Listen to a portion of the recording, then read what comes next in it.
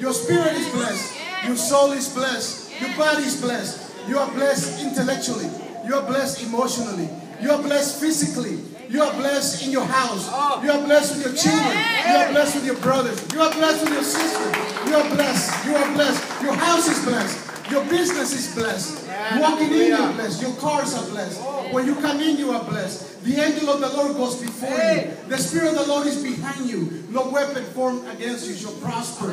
You are blessed and you are blessed. Blessed is the man who fears the Lord, who finds great delight in his command. His children will be mighty in the land. The generation of the upright will be blessed. Riches and glory will be in their home. Their righteousness endures forever. Even in hard times, their light will be shine always and forever.